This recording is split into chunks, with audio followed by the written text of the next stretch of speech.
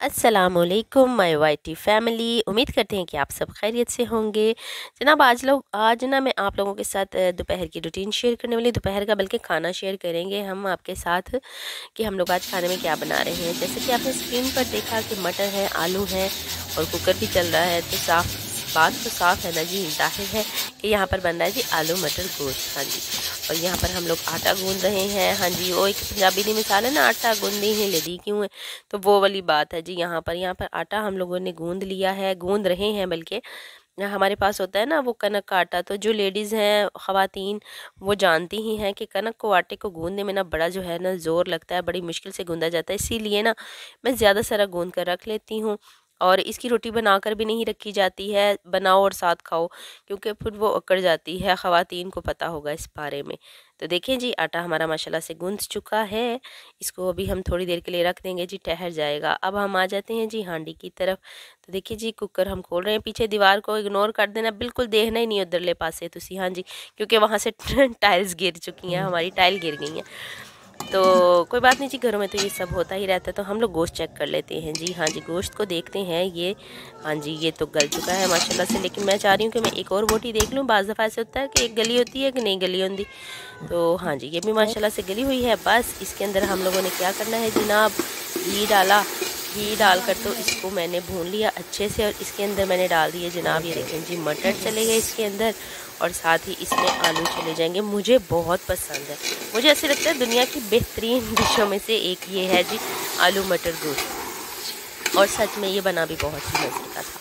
तो देखिए जी, इसकी हम करेंगे जी अच्छे से भुनाई। भुनाई करने के बाद पहले हमने गोश्त को भून लिया, फिर उसके बाद हमने सब्जियों को भून लिया, फिर हंसबे ज़रूरत, इसमें पानी चला जाएगा। जी हाँ जी, ऊपर वाला जो चूल्हा है ना हमारे पास तो वो वहाँ पर काम हो रहा है। ज़ाहिर है बच्चों वाला घर है, कोई फीडर बना रही, कोई चाय बना रहे हैं, कोई अंडे ताल रहे हैं, कोई मतलब कि अपने अपने काम सारे लग गए। तो मैंने कभी मैं क्यों पीछे हटूँ?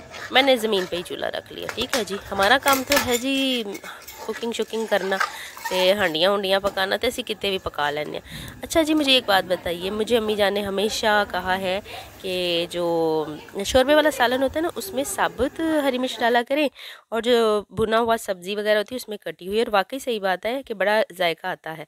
यहाँ पर हम लोग जो हैं जी, पेड़े हम लोगों ने कर लिए हैं। और ये ले जी, माशाल्लाह से हमने तवे पर रोटी भी डाल ली है। माशाल्लाह देखिए जी, कितनी बड़ी रोटी है मेरी जी। हाँ जी मेरी जब शादी हुई थी, मुझे बनानी भी नहीं आती थी।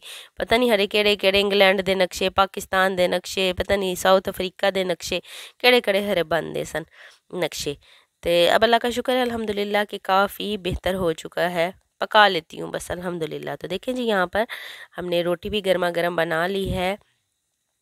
हमारी जो गैस आती है ना, वो आती तो है, लेकिन वो ऐसे होता है कि वो लगती नहीं है। तो जनाब ये देखें। हमारा सालन जो है, वो तैयार है। अब हम सर्व कर रहे हैं।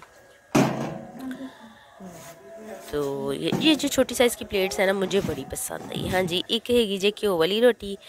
और एक सादी रोटी। और ये है जी अचार ओए होए कभी आप लोग भी ज़रूर ट्राई कीजिएगा कि अचार इसमें डाल करना आलू मटर गोश्त हो या आलू गोश्त हो उसके अंदर अचार डाल के खाएँ फिर देखें कितना मज़ा आता है। तो जी हम लोग चले गए हैं जी सर्व करने खाना को। अब हम खाना खाएँगे और फिर आपको टेस्ट भी बताएँगे इसका कि कैसा है इसका टेस्ट सबसे पहले तो मियाँ साहब को मैं सर्व करूँगी और आप लोगों ने मुझे कमेंट में ज़रूर बताना है कि आप लोगों को कौन सी डिश ऐसे लगता है कि दुनिया की बेहतरीन डिश है। तो जनाब ये देखें जी, ये है जी मेरी प्लेट इसके अंदर मैंने अचार डाला और बिस्मिल्लाह पढ़कर हम लोगों ने निवाला तोड़ा है और अब बिस्मिल्लाह पढ़कर हम इसको खाएँगे।